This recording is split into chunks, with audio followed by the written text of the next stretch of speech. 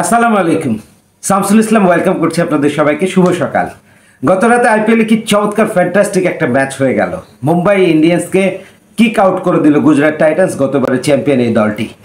আপনি দেখেন যে পয়েন্ট টেবিলের শীর্ষ দুই দলই আঠাশ তারিখের ফাইনালে কাকতালীয়ভাবে খেলছে, চেন্নাই এবং গুজরাট টাইটান্স তিন আর চারে থাকা মুম্বাই ও লখনৌ সুপার জায়ান্টস তারা ছিটকে গেল ফাইনালে কিন্তু কালকের ম্যাচটা যদি আমরা গভীরে গিয়ে বিশ্লেষণ করবার চেষ্টা করি, তো it was completely a one man show in the first part and then second part Mohit Sharma কিন্তু মোহিত শর্মার এই আলোটুকু পুরোটাই কেড়ে নিয়েছেন Shubman Gill. Throughout the season যেভাবে তিনি খেলছেন এবং গুজরাট টাইটান্সের হয়ে ব্যাট হাতে সামনে থেকে যেভাবে তিনি লিড করছেন অসম century century forty two then century একই মৌসুমে তিনটি শতক শুভমান গিলের। প্লে অফে আইপিএল হিস্ট্রিতে সেভেন্থ সেঞ্চুরি এবং সেই সাতটা সেঞ্চুরির মধ্যে শুভমান গিল তেইশ বছর দুশো ষাট দিন বয়সে করলেন এটা হচ্ছে সর্বকনিষ্ঠ সেঞ্চুরিয়ান প্লে অফে আইপিএল হিস্ট্রিতে সো বুঝতে পারছেন এই তরুণ ক্রিকেটার ইন্ডিয়ান ক্রিকেটের কত বড় সম্পদ হয়ে আগামী দিনে নিজেকে মেলে ধরতে চাইছেন what an outstanding player he is, especially as a batter in the top order. Marvelous.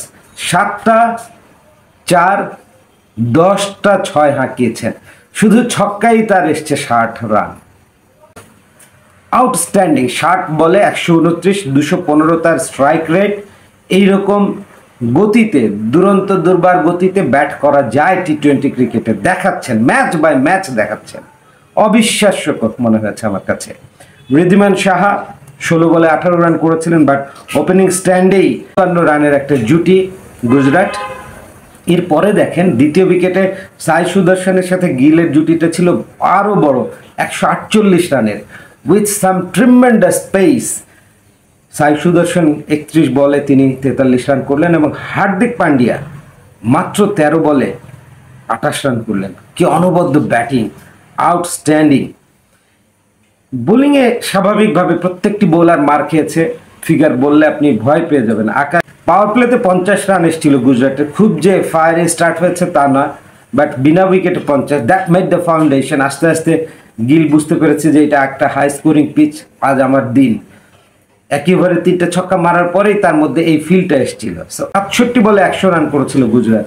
তারপরে সাতাশি বলে একশো পঞ্চাশ করে ফেলে, অর্থাৎ বিশ বলেই থার্ড ফিফটিটা তারপরে ফোর্থ ফিফটিটা দেড়শো থেকে দুশোতে গিয়েছে মাত্র একুশ বলে।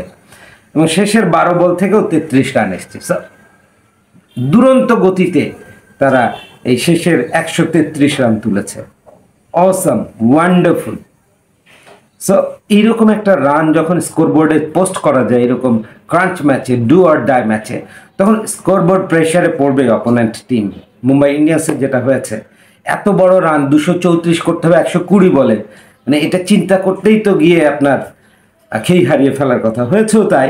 পাওয়ার প্লেতে দুরন্ত স্টার্ট করেছিল, বাহাত্তর রান তুলেছিল মুম্বাই, কিন্তু হারাতে হয়েছিল তিনটা উইকেট টপ অর্ডার থেকে কোনো স্টেডি ব্যাটার ডেপথ পর্যন্ত ব্যাট করতে পারেনি। আঠারো, উনিশ ওভার অব্দি কেউ লম্বা ব্যাটিং করতে পারেনি। গিলের মতো একজনকে দায়িত্ব নিতে হতো টপ থ্রি থেকে, যিনি একেবারে খেলাটা শেষ অবধি একটা প্রান্ত আগলে রেখে একটা সেঞ্চুরি ইনিংস খেলতে পারতেন বা একটা বিগ স্কোর করতে পারতেন। তার চারপাশে এসে বাকিরা সবাই ছড়ি ঘোরাতো। তো এমনটা হয়নি। মুম্বাই ইন্ডিয়ান্সের দুই ওপেনারই ফেল করেছেন। ঈশান কিষানের কনকাশন সাবটাও মুম্বাইকে যথেষ্ট ভুগিয়েছে এই ম্যাচে ঈশান কিষান কিন্তু দারুণ টাচে ছিলেন। রোহিত শর্মা এই বড় ম্যাচে পারফর্ম করলে হয়তো দল এগিয়ে থাকতো, সেটা হয়নি। ফেল করেছেন সিঙ্গেল ডিজিট আট রানে আউট হয়ে গেছেন।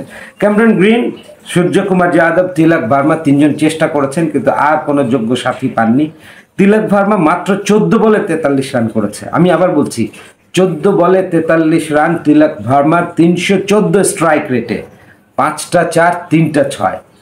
ক্যামরন গ্রিনের তিরিশ, বিশ বল থেকে এবং সূর্যকুমার আটত্রিশ বলে একষট্টি রান করে চেষ্টা করছিলেন, কিন্তু তার ইনিংসটাকে লম্বা হতে হতো, শেষ পর্যন্ত থাকতে হতো। তা হয়নি। মুম্বাই হেরে গেছে বাষট্টি রানে, হারতেই পারে।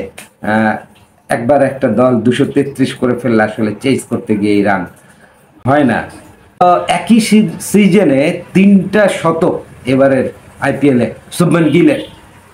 সর্বোচ্চ রান সংগ্রাহক তিনি, আটশো একান্ন রান করেছেন, ষোলোটা ইনিংস থেকে গড় হচ্ছে ষাট দশমিক সাত আট। গুজরাট টাইটান্সের তিন bowler highest wicket taker Shami আঠাশটা রশিদ সাতাশটা, মহিত শর্মা চব্বিশটা। এবং এখানে মহিত শর্মা পাঁচটা উইকেট নিলেন, মাত্র দশ রান দিয়ে দুই ওভার দুই বল থেকে। আউটস্ট্যান্ডিং মানে অসাধারণ মোহিত শর্মার এই রিটার্নটা কামব্যাকটা অভূতপূর্ব। মানে কোনো প্রশংসাই তার জন্য যথেষ্ট নয়। So, আমি যেটা বলছিলাম যে বিরাট কোহলি দুই হাজার ষোলোতে এক মৌসুমে আইপিএল চারটা সেঞ্চুরি করেছিল দুই হাজার বাইশের এক মৌসুমে চারটা সেঞ্চুরি জস বাটলারের কাছ থেকে দেখেছি আর এই মৌসুমে সর্বাধিক তিনটা সেঞ্চুরি করলেন শুভমান গিল। নতুন দিনের নতুন তারা শুভমান গিলের জন্য। শুভকামনা গুজরাট টাইটান্সের জন্য। অভিনন্দন। আঠাশ তারিখের ফাইনালে কে? चेन्नई और गुजरात अपेक्षा थकूँ थैंक यू